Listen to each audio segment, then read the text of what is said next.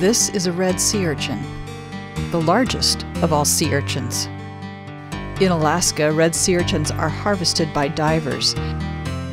The allowed commercial fishery is 6% of the estimated biomass. The red sea urchin body can be as large as 15 to 17 centimeters in length, including spines up to 30 centimeters. Color varies, but most appear red to dark burgundy.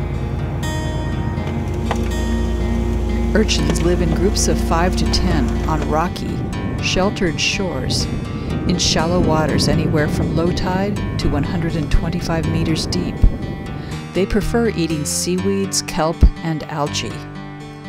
Urchins have no eyes or legs. They move on the seafloor, using their spines as stilts and extending tube feet from their bodies. Red sea urchins can live to be 100 years old However, some found near Vancouver Island are estimated to be over 200 years old.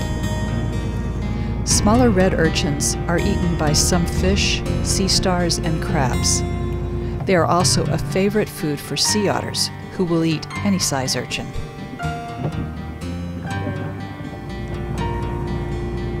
In southeast Alaska, the number of red sea urchins harvested by divers is currently dropping due to a lower market demand for them in Japan, as well as a booming local population of sea otters.